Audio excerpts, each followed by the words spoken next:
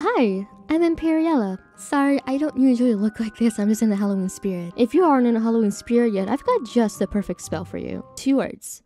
Halloween Thriller. Let's do this. Only for a moment. I just want you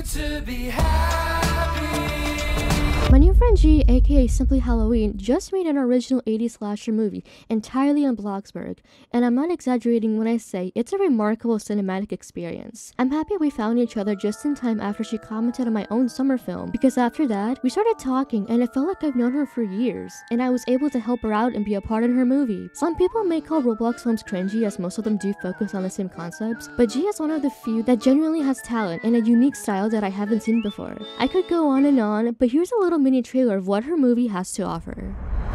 I'm G. Some of you may know me as the Halloween obsessed girl who has her house decorated for fall all year long. The town I grew up in lived on the spirit of Halloween. Therefore, each year in honor of this holiday, a week long overnight autumn camp opened to all of the town's residents, old and new. You may be thinking, a summer camp in the fall? It's similar, but instead of going through the ultimate torture of heat and mosquitoes, we enjoy our stay in luxury, drinking warm tea while being comforted by our dearest friends in the softest blankets. This tradition began back in 1981, the night of the full moon, Tuesday, October 13th. The date began was also the day it was expected to end. What was supposed to be an eventful second night at this spooktacular place became a night full of horror and fright. This year, my friends and I are attending the camp. Why are people reading? Ew. Don't they like just want to use their cell phones? Have a nice day. Wait, I'm sorry, you just look really familiar.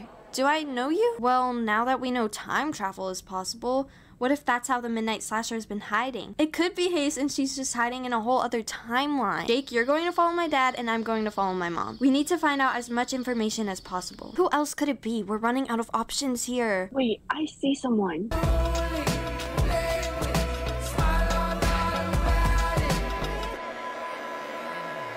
Please, please. I still have so much more to live. who doesn't like a 80s slasher movie, right? That was pretty good. That was good. Yeah, Check out the Midnight Slasher. You will surely have a spooktacular time. definitely watch it. It's actually pretty fun.